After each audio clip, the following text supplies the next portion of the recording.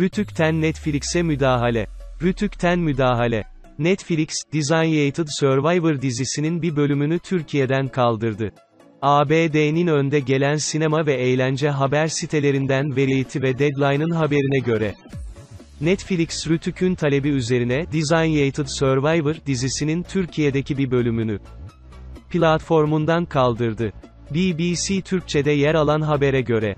Netflix'in yaptığı açıklamada, Türkiye'deki yetkililerin talebi üzerine yerel kanunlarla uyum içinde olmak için bir bölümün platformdan kaldırıldığını duyurdu. Çıkartılan bölüm 2. Sezonun 7. bölümü. Deadline'daki habere göre bu bölüm 2. sezonun 7. bölümü.